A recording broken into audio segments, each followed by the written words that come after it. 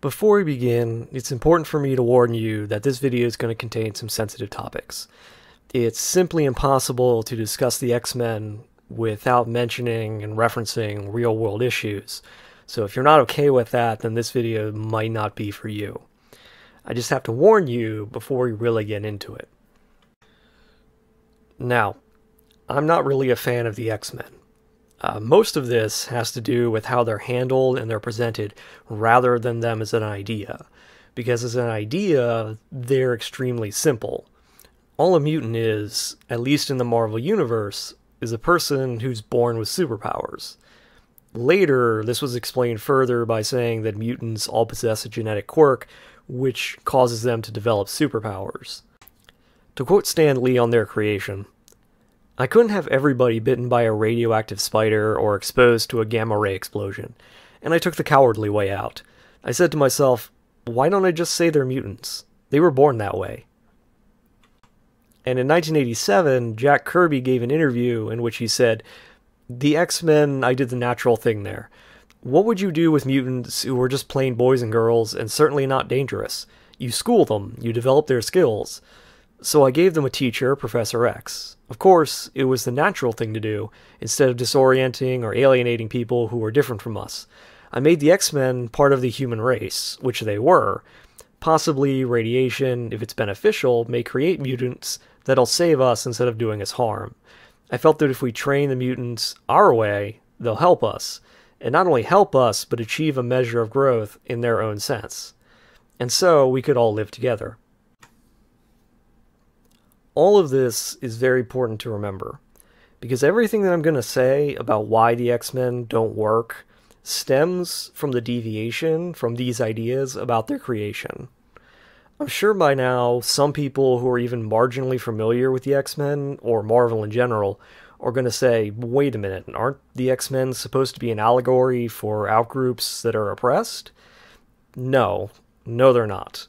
That idea was added later Consider for a moment the X Men's greatest foe, Magneto, a man whose backstory is that he was in the concentration camps of Nazi Germany during World War II, and his two greatest allies, and his children, have ties to the Romani of Europe.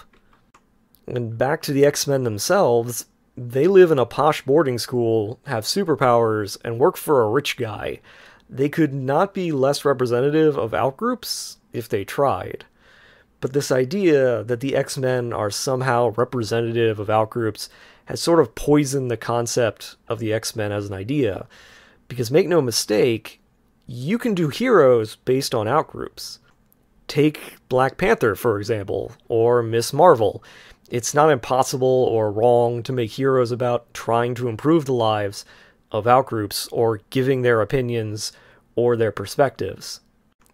But here's the thing you can't make has superpowers the reason that they are the outgroup. Because superpowers are innately something that makes them better than everyone else. Furthermore, it makes them dangerous. You cannot draw a connection between groups that are discriminated against and mutants, because those groups do not spontaneously develop superpowers. You can't be like, the Japanese who were put in internment camps during World War II are exactly like mutants in the Marvel Universe because Japanese people don't spontaneously develop the power to blow up cities and rewrite reality. You can't be like, black people suffering from racism is just like how people don't like mutants in the Marvel Universe, because again, black people don't spontaneously develop superpowers that could cause a mass extinction event on a whim. Beyond this, there are bigger issues to consider. First, why exactly are mutants considered an outgroup in the Marvel Universe? Seriously, this is a world that includes the Avengers, whose members are a god, a scientifically enhanced super soldier, a man altered by radiation, a man in a robot suit, and a man and a woman who shrink down due to a particle they discovered. It's a world that includes aliens, magic, super science, time travel and dimensional travel. The world is invaded and sometimes conquered multiple times a year. Exactly why are mutants considered so beyond the norm? Beyond that, how would anyone know if you were a mutant to begin with? How would anyone know that you're a mutant and not say the result of a genetic experiment, or the result of a scientific experiment, or maybe you found a piece of futuristic tech lying around and it gave you superpowers, or maybe you pissed off a wizard and he cursed you with power. No one can look at a mutant and go, yeah, that person is totally different from all these other people who have powers that we're okay with. The most basic form of discrimination, the most basic reason for discrimination, is due to people not looking or acting like the people who they're around. Differences in belief and culture cause friction between groups, and traditionally, this has caused conflicts throughout human history. But mutants come from every country and are made up of every race, religion, gender, and creed.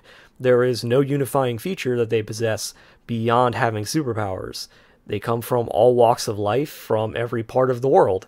There is no reason for people to even consider discriminating against mutants specifically, because no one can possibly know who is and who is not a mutant without specific genetic testing. Furthermore, if somebody in your community who you knew from childhood into teenager suddenly developed superpowers, would you consider them suddenly a pariah? Or would you be like, that's awesome, our town has a superhero now? Beyond that, in the Marvel Universe, if you're from any city that's larger than a village, chances are you're already familiar with superpowered heroes and superpowered crime. Exactly why are mutants somehow worse than what you've already seen in the world? Beyond that, we need to ask the question why do the actions of mutants continually mimic the language and behaviors of authoritarians and radical movements across the world? Both Xavier and Magneto speak of a pan national identity for mutants, that people are part of it whether they desire to be or not. They continue to espouse the idea that they are in an eternal struggle against the forces that would oppress them, forces that must either be contained or conquered in order to ensure a glorious future for mutant kind here's a tip.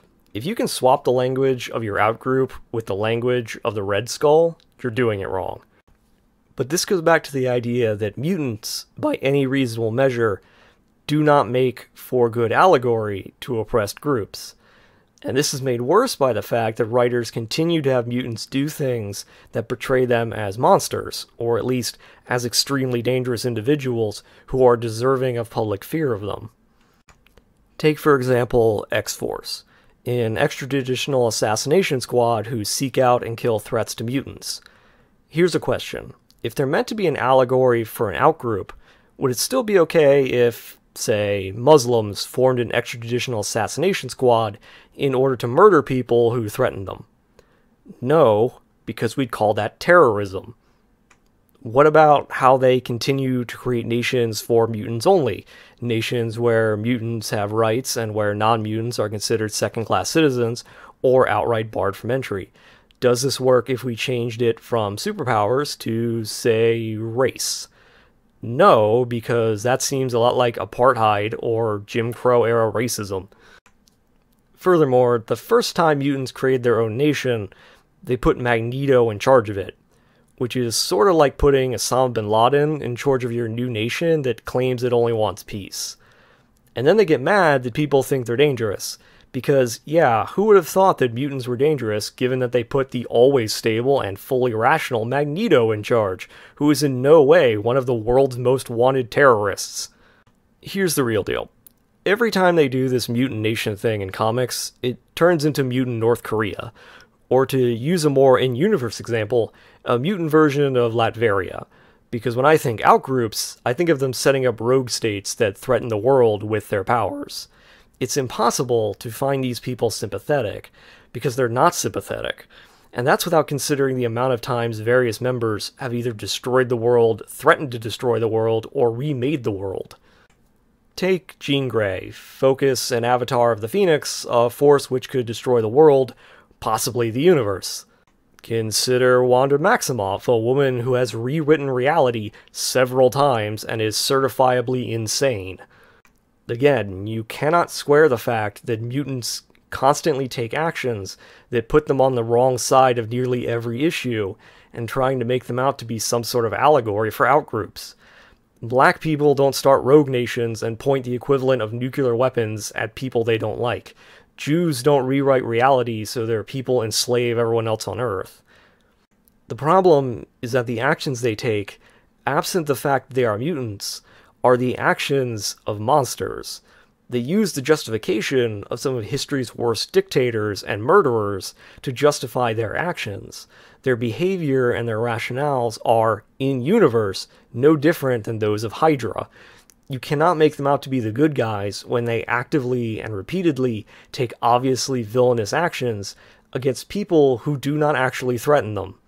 Beyond that, there is no reason why in universe there is long-standing anti-mutant feelings, as I've already said. But the fact that mutants lay claim to people everywhere in every country on the grounds that they are oppressed mutant minorities, you might think that they're the bad guys. Because, you know, who else invades other countries claiming that they have oppressed minorities?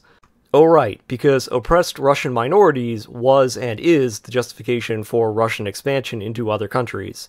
Maybe, just maybe, don't have the people we're supposed to feel sympathetic for borrow language and ideas from dictators. Because in the end, what we're left with is a perfect storm where it's nonsensical for people to hate mutants, specifically, aside from the reasons that they give people to hate them in universe. Beyond that, it's impossible to consider them as the put upon minorities because they are frequently doing things that cannot be justified. There are lots of characters that are mutants that you can tell stories about using them as allegory. Characters like Dust, who is perhaps one of the best examples of how you can work the idea of mutation in with the idea as being seen as other when you're living in a culture that has vastly different culture ideas and expectations than the one you're used to.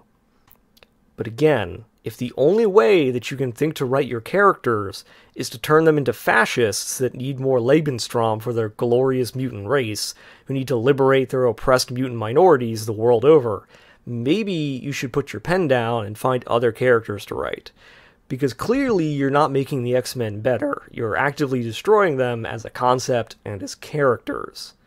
At their best, the X Men are characters who show how diversity is a good thing, how many people from many different backgrounds can come together to do good, how people can overcome adversity and do good things, how people with widely different views and mentalities can still find common ground and cooperate but if you're just writing the X Men because you want to write the mutant equivalent of separatist genocide fan fiction, then please find something else to write.